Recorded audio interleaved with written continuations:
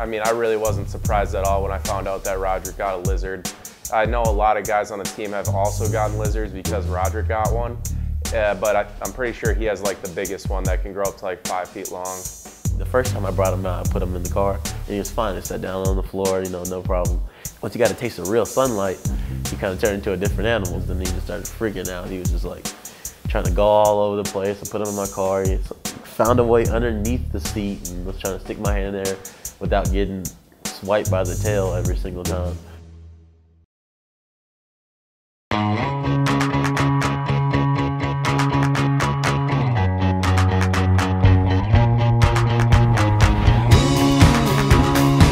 Your fall journey awaits only in Minnesota.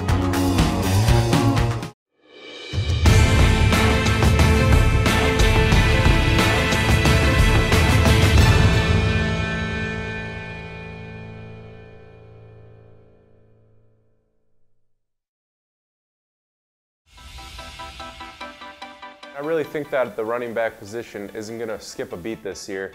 I think having Rodrick Williams back is going to be huge for us.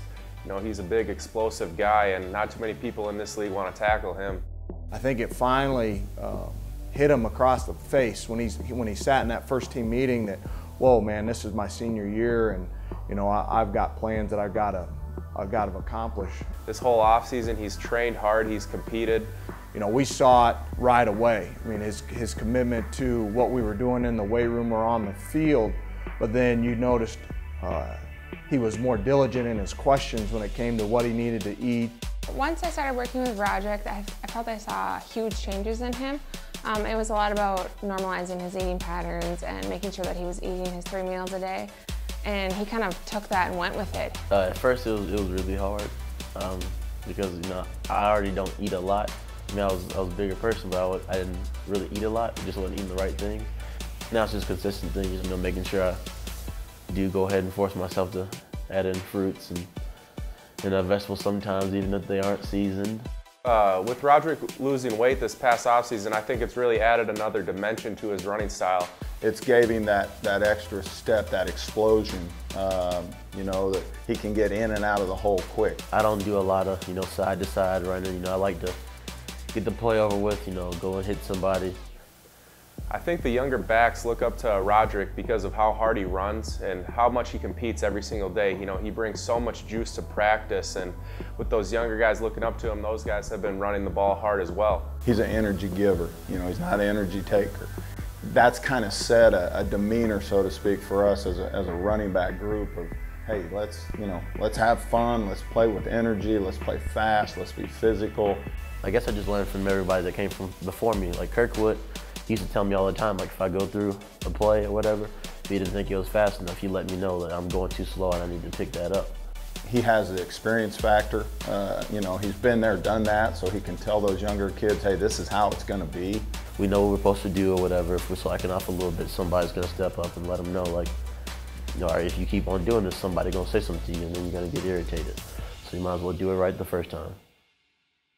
Kind of the two things that, that Rodrick and I can, can communicate off the field on are, are cars and, and his, his pet lizard. Uh, this is Kill. Uh, his real name is Kill Guerra. He's a Savannah monitor and he's about 10 months old. He's about uh, two feet long.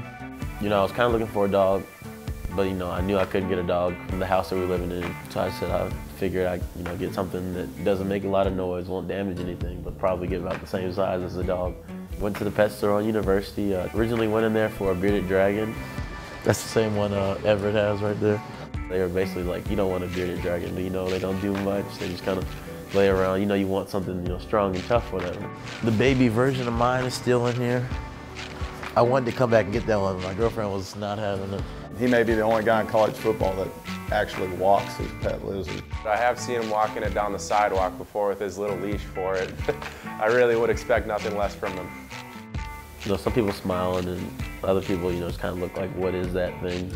They always ask me, does it bite? And I let them know, well, he has teeth. When I told Coach Kill about the lizard, you know, he just really kind of, you know, just laughed or whatever when he saw him on the leash. He was like, yeah, that kind of suits you, whatever. He's been calling me Lizard Boy ever since. Watch before you know it, the whole U's gonna want to get a lizard.